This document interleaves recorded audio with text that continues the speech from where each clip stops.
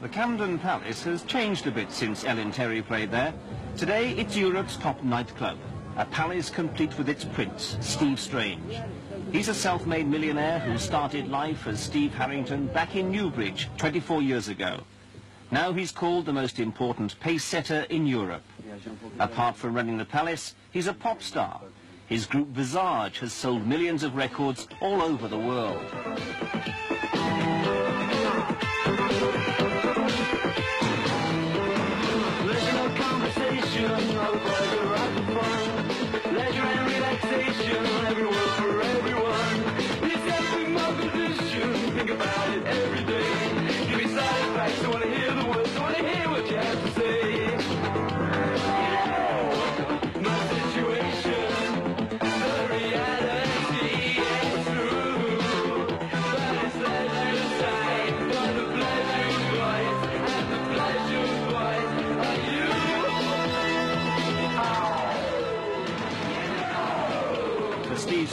It's now life with the champagne set, with the rich, the famous and the glamorous. It's lunch with top fashion model Marie Helvin at one of London's most exclusive restaurants. Marie's husband, David Bailey, is his photographer too. It's all a far cry from Newbridge. Actually, you know, that's all sort of these women sort of like ballroom dances. Do, do, do record, you Back in Gwent with one of his former teachers, he finds part of his old school has been knocked down. Um, that was the, head, the headmaster's office just about there. Yes, The tuck shop, yes, cookery room. correct. Not that school ever provided one of the more successful periods of his life. He left with just one qualification, an O-level in art. Yes, yes, and nice to have you back. Yeah, it's not, I mean, it's nice to come back, but it's sad to come back as well. Yeah. I mean, it's sort of sad to see it as it is and Well- remember it as it was. I remember when, we used when I used to be the vice captain of the, the sports and the Eisteddfod, Yeah. and we used to practice here for like. Well, tell me, Steve, how did all this business with this guitar start? Do you remember in school? Well, I remember we were practicing with the Eisteddfod and, and I'd been having guitar lessons up in Oakdale with That's the music teacher, up in, a music teacher up in Oakdale, and we had to get something together for the house really quick. That's correct. So we stayed behind with you. That's it. That's it. So that set you on the way to your... Yeah, It really so- lovely, lovely. Young Steve Harrington did leave his mark on Newbridge Comprehensive as the first pupil to dye his hair orange. Rebel he may have been, but he was never a troublemaker. Well, he, he never caused us the slightest trouble at all. uh, I, I think it's safe in saying, Steve, that uh, you were a loner. Sort of a loner, yeah. I mean, especially towards the end of the fourth year. And then when I, remember when I used to have my hair bright orange? That's it. You I turned up in assembly and the whole of the sort That's what it. the hell has he done now? That's it. None of the teachers really did stop me doing what I wanted to do. I mean, if Miss Harris remembers, I always used to have my own school uniform as well. Oh, yes. What was that? Well, I just, it was basically the same as a school uniform, but adapted in the way that I wanted to wear it. So uh, say everybody was sort of wore a grey sort of jumper, I'd sort of wear a black and grey twin set sort of thing, you know, with a cardigan and a V-neck jumper underneath, and big baggy trousers and platform shoes and things. Well, that, that sums it up because he was completely imaginative. I did like school and I don't knock school and I think a lot of children need education to get on. And I mean, I think children need sort of either CSEs or O levels if they're going to work in Wales. You know, everybody's like me and going to go off and do it on their own. Yet again, you couldn't wait to leave school, could No, I you, to couldn't. get up to, uh, to It- London? but it wasn't because I hated it. It was just because I aimed for London. I saw London as a as a future prospect for me. And uh, in school, it was like as if it was niggling me to get out. And I wasn't very sort of, you know, it wasn't that I wasn't secure there. I just had to sort of leave because I knew that there was nothing here for me in Newbridge. It wasn't any fault of the school. It was me as a person that had to get out. What he left behind was the council house where his mother, Jill Harrington, still lives. Even while he lived there, he spent much of his time travelling to discotheques in places like Wigan. But for his mother, Steve's going to London, never to come back, was particularly upsetting. She still remembers how she felt. Terrible it was. when he first went, oh, I just couldn't eat any food or anything because I used if I sat down to a meal, I'd think, I wondered, is he having any food? And I just couldn't eat any food. I lost about two stone weight. But then when he settled down and I saw where he lived, I was much better then. Did you worry about him at first? Terrible. Yeah. I think it's only natural, isn't it? To be up in the big city. Was he always pretty independent, though? Yes, he was. He matured very early. I think you do when your mum and dad are divorced. I mean, I don't think the divorce had any effect on me, but I just think it makes you grow up a little bit quicker than the average. Say, I think I grew up quicker than your average 13-year-old because I think you have that little bit more responsibility, or there's there's nobody there. I mean, I don't know. You just take on different roles. But again, the different colour hair, uh, Jill, the white hair, the orange hair, the different clothes. Did you ever think, well, what's Steve up to? I think it's great. I, you know, for men to be dressed different rather than suits all the time. It's a bit different uh, from Newbridge High Street, though, Oh, yeah. What do people up here make of it? Well, he was the first punk rocker in Wales. and people often say that to me. You know, remember him when he was about 14, first punk rocker. What about, though, when Steve was still in school and suddenly his uh, he had his hair dyed orange? What did you make of that? Well, I was working at the time, and it wasn't his, on his own. He used to do his friends as well. when I came home from work, there'd be about six of them three or four in the kitchen, all having highlights and things. Yeah, but her sister dyed my hour, orange, so she couldn't say anything anyway. Life in London, though, proved a lonely experience. when I was living in this block of flats for a year, I didn't even speak to one of my neighbours. I never even saw them, you know. And it's like that. I would never have liked to have gone up there and not knowing where I was going to live or if there was any income coming up there. Because I see so many people just hanging around Piccadilly. But, you know, everybody thinks the streets of London are paved with gold, but they're not. And there's a big different s- side to London than the glamour and the nightclub world. There's a very hard side to London as well. It didn't take long for Steve Strange to be recognised by some of London's more influential figures. I'd been living in New York for a year, and when I came back, I kept seeing Steve, this Steve Strange everywhere. Everywhere that I went, I hit the circuit as soon as I came back to London, and I, I said, and he kept saying, uh, "Hello, Molly." Oh, hello, Moll. I didn't know him, but that's his way. He's quite sort of pushy little thing, isn't he? And I said to pals, "Who's this Steve Strange?" Because you couldn't not notice him because he looked extraordinary. And they said, oh, well, you know, he's one little bit of a cult at the moment, but all the kids starting to follow him. And he indeed did look extraordinary. I mean, looked absolutely wonderful. I think that he was in his um, French Revolution phase then. He, I know you had uh, uh, off to the Bastille, you know, completely white face, uh, scarlet lipstick, plucked eyebrows, a lot of mascara, black hair. Rather frightening, really, but uh, uh, very arresting. And up until that time, uh, I don't think that you'd seen people looking like, well, you hadn't seen people looking like Steve on the street. He ca- has captured the imagination of the masses, of the working classes. They see him, I think, as a fantasy figure of their own age, uh, and whether they're unemployed or whether they've got no money or what, it really doesn't matter because uh, lipstick and uh, throwing the stuff together and creating a look is what Steve's about, and it's Steve who's led them to it. He began running clubs with exotic names like Hell, Club for Heroes, and Blitz. He took over a few of those clubs, notably Blitz, where uh, he didn't allow people in who weren't uh, suitably dressed. By, by dressed, I mean outrageously dressed. So if you went in cashmere and pearls, you certainly wouldn't have got in. and he was the first one really to operate that rather uh, aggressive uh, um, policy on the door. He would be out on the pavement and say no, no, yes, yes. So it became a thing to be to get in there.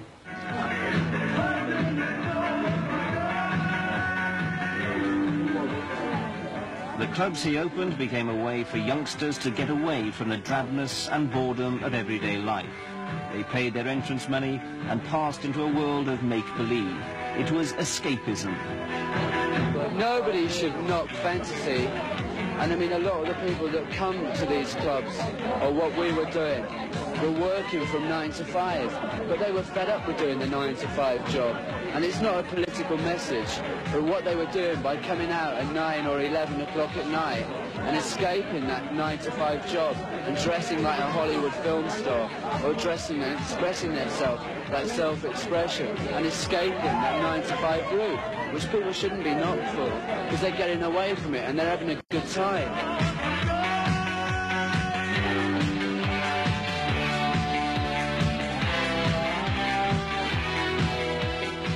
I think that uh, Steve uh, would have uh, floundered in his own environment. He needs capital cities. I'm talking about all over the world. He naturally fits into an ambiance of uh, sophisticated eccentrics, and that is where he belongs. Now the Camden Palace is the ultimate in clubs. Its video screen is the biggest in Europe. What the palace does with its psychedelic lighting today, others copy tomorrow. And it brings in the customers. 7,000 people go there every week. And have got to spend that in Norway coming down Jenny. Jenny and Chris. Not everyone gets in. Look merely ordinary, and you'll be turned away. Look bizarre, and there's no problem. You're in. There's no doubt that what the palace has become is down to Steve Strange.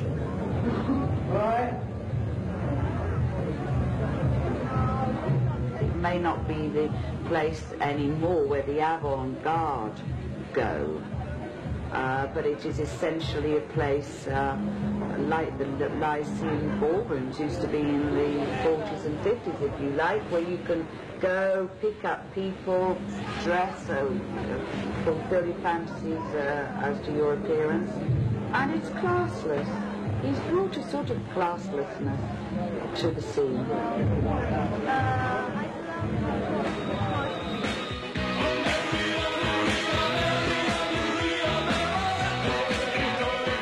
Club's also a gold mine. On New Year's Eve, it took £28,000 in door money alone. Yet prices aren't high. It's a lot cheaper than other London nightclubs, and we still keep a high quality of standard.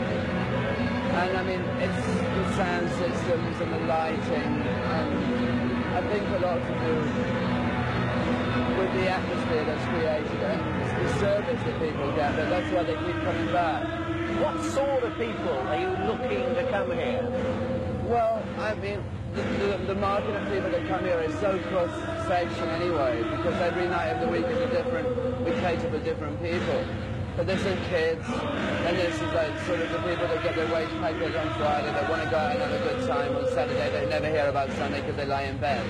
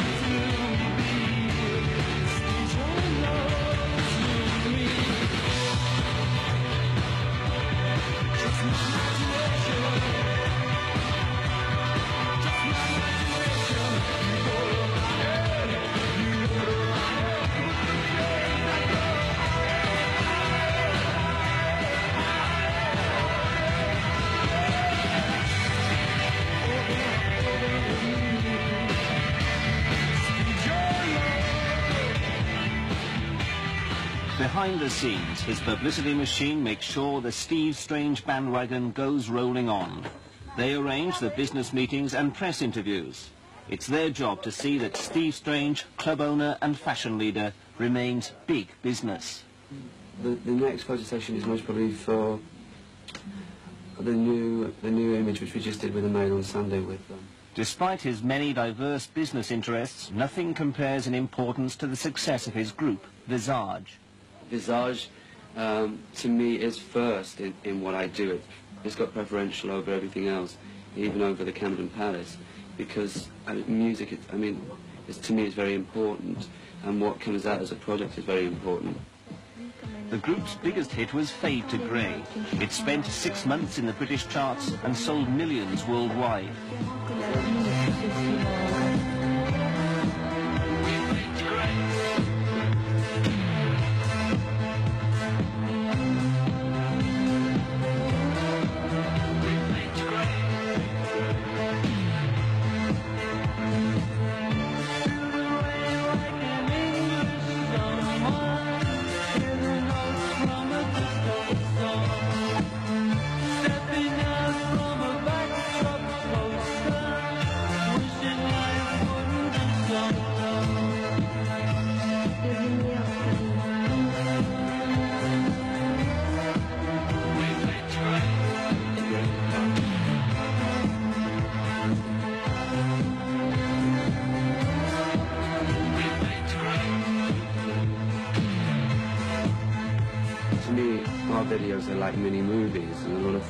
Goes into them, like the storyboarding them and just actually writing the videos and taking that little bit more extra time. That's what the image is as well.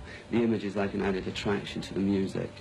It's like, you know, because people like to be entertained, at show business.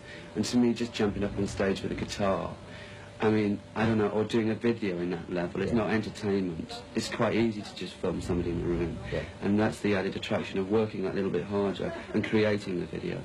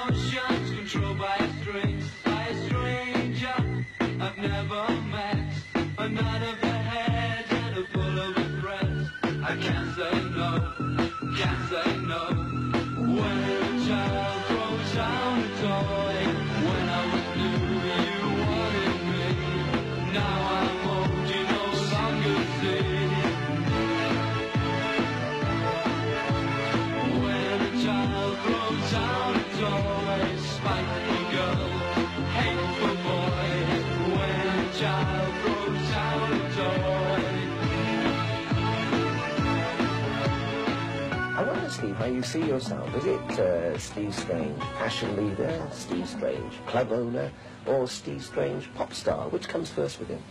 It's called a package. um, I've never wanted to be um, like a fashion innovator, I, like they say, like, as they call me a fashion leader. It's basically the, the looks that I adapt. The way, the way that I used to work is when we used to create videos, I used to create an image for the video and then live the image till the single dropped or something like that. But now I just basically create the, the image for the video and then I drop it and I just basically wear what I... I mean, this is me and this has been me, like... It's not like as if it's a chore coming out in the morning to put the face on. It's me every day, uh, and I call it the face because that's that's I'm, I'm like naked without it. I don't know, I just wear makeup because... It's not because I like wearing makeup to sort of be looked at or get attention. I just wear makeup to go in sort of particular outfits and clothes. And I think by wearing makeup, the, you know, it's not like as if it's a stance or a pose. It just, I think I look better in makeup, and that's basically telling the truth. It's not vain or vanity or anything like that. You always get a lot of abuse shouted at you wherever you... Well, I don't so much anymore because it, when, it, when I don't know when you're a pop star, you seem to get away with a lot more if people recognise you because they seem they seem to think it goes hand in hand with your image. I don't wear makeup for business in the day, and I don't wear makeup when it comes down to sort of going to meetings with, say, for instance, the Palace. But if I'm at home and I'm going out to sort of a club in Cardiff, I wear just the same as I wear in London. The image is everything. The clothes he wears are so unconventional, some would say so extraordinary, that he's been called the Beau Brummel of the 80s. He's particularly proud of his personally designed hats. Hi, how are you? I've got something in there I want to show you. There's- there's some His hat designer, Stephen Jones, makes hats for people from Boy George to Princess Diana. I didn't know you were going to be here. You know the hat I've got on? Mm-hmm. But one, one made up in leather like these trousers. God, these are fab. Where are they from? It's Miyake. So see the pipe in here? Yeah. If you can sort of make what I like a, can you do something like like there's like a top that's split open? Maybe Yeah. use the leather as a trim, trim, with then- these, yeah. like so you get that effect on it. Well, if we had a split... Then you can come up with a look that I don't have to worry about. I know it's going to be there and created by the, just like give him the idea and I can come back and pick it up and I know I'm going to like it. With the right clothes. And everyone clothes. It was quite funny actually because uh, it was about three years ago and Steve was wearing, I mean, like uh, PX velvet And trousers. breeches and with with white um, leggings, white tights underneath them and sort of flat flat shoes and that was his sort of evening look and that sort of filtered through and in fact the Princess of Wales Wore it. was also wearing that look and I made Steve's the, the little beret With the- with used- the with the feather coming out of the side and then in fact about six months later did the same thing for Princess of Wales. So, I mean, it was very much sort of a fashion force together.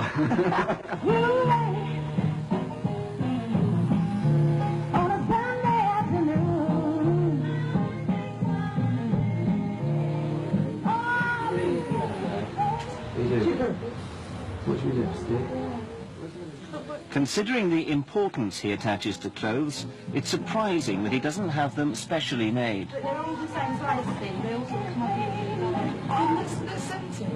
I buy clothes like off the peg, but I don't wear them off the peg. I wear them in a way that I think they should be worn and adapt them to sort of create my style to their look. Oh, well, so I buy this, I buy this out. Is there anything leather that goes with this? That leather's Flat leather shoes. Yeah. Take- take You that. put a pair of these shoes, have you know? But the clothes aren't cheap, are they? Can the sort of kids who come to the Camden Palace afford clothes like this, or do they make their own, or what? They make their own, and also, um, if I don't know, I've always said this, but if people want clothes, where they get them from, I don't know. Where the money from, I don't know. But they get it. It's always been the same. The same when you were a youngster. I mean, if people wanted clothes, they get it. I mean, you know, it's the same. If you wanted a new pair of trousers when you were into rock and roll or whatever, you get the money from somewhere, and it's always been the same through the ages.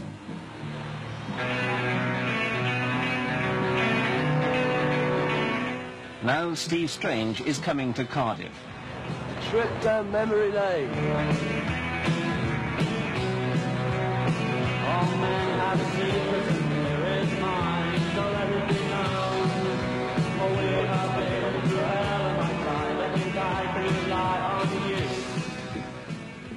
Although he left South Wales eight years ago, he's still a frequent visitor. Recently he bought a house at Pont Llanfraith. But this trip to Cardiff combines pleasure with business and the search for a building suitable to be turned into a new club, the Cardiff Palace. Um, you know, it's big, it's got the low ceiling, the pillars, it's, I mean, it looks, What, St Mary Street? yeah, just across the road here from, from the show. We can look at that one. One site he looks at as a possible location for Wales's answer to the Camden Palace is an old pool and snooker hall above Cardiff's central market. Could these walls be sort of knocked down? Because I, s- you see how I see it, the palace in London Yeah. is just like a huge, big, like floors, right? Yeah. And it, you're looking, you're looking all the way down into a dance floor. Yes. So say this would become like a dance floor if all these walls were knocked. I'm not sure whether that wall's structural, but as I said, the only...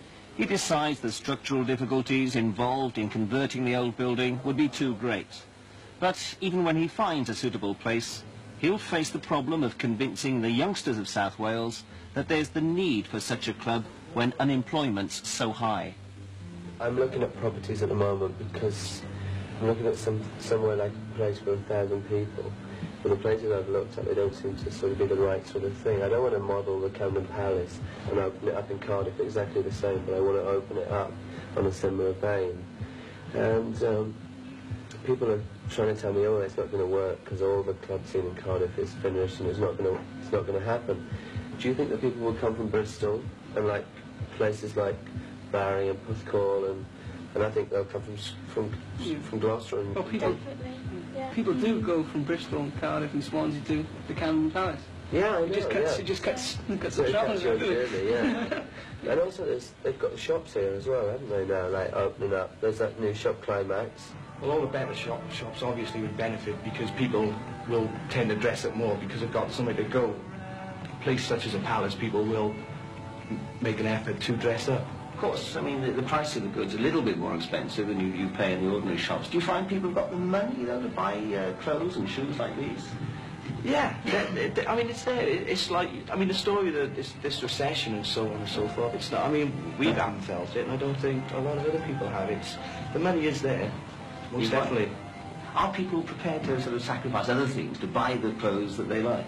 Well, yeah, I mean, I mean, people do, especially youngsters. I mean, they, they, they, they, they, they, they want to look nice. They, it's important to look nice, to be, to be in, if you like, you know, to be trendy. I mean, they like this. It's, it's very important to a lot of young people.